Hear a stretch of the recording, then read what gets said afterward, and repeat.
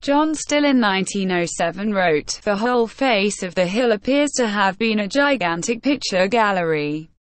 The largest picture in the world perhaps the paintings would have covered most of the western face of the rock, an area 140 meters long and 40 meters high.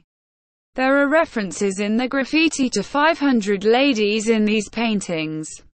However, most have been lost forever. More frescoes different from those on the rock face can be seen elsewhere. For example on the ceiling of the location called the Cobra Hood Cave.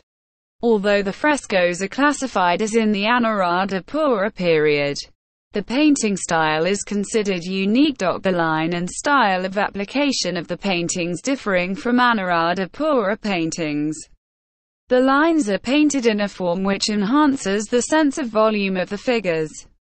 The paint has been applied in sweeping strokes, using more pressure on one side, giving the effect of a deeper color tone towards the edge. Other paintings of the Anuradhapura period contain similar approaches to painting, but do not have the sketchy lines of the Sigiriya style, having a distinct artist's boundary line. The true identity of the ladies in these paintings still have not been confirmed.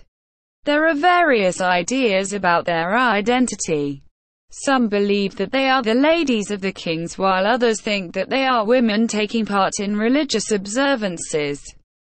These pictures have a close resemblance to paintings seen in the Ajanta caves in India.